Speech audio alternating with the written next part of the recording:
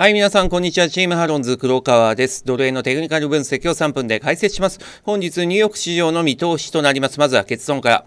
はい、4時間足ボリンジャーバンド下落トレンド進行中。一目均衡表下落トレンド進行中ですが、買いバイアスが強い状況。ストキャスティックス買いシグナルが点灯ということで、はい、4時間足ベース、上値の重い展開と考えております。それではテクニカル分析とサポートレジスタンスをご紹介します。はい、4時間足ボリンジャーバンド、トレンドの方向性を示す赤い点線21本移動平均線下落しております。ローソク足と言いますと、はい、ショートカバー優勢となっております。4時間足ボリンジャーバンド下落トレンド進行中です。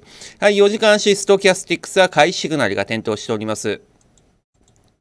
はい、4時間足一目均衡表です。形状から言いますと下落トレンドの形状。ただ、ローソク足と言いますと、えっ、ー、と、レジスタンスラインとしてワークしております、転換線を上抜けトライ中ということで、はい、4時間足一目均衡表下落トレンドの形状をしておりますが、買いバイアスが発生しております。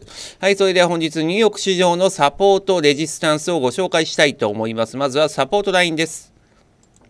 はい、サポートラインは134円の50レベル、134円の50レベルと考えております。続きまして、レジスタンスラインです。レジスタンスラインは136円ちょうどレベル、136円ちょうどレベルと考えております。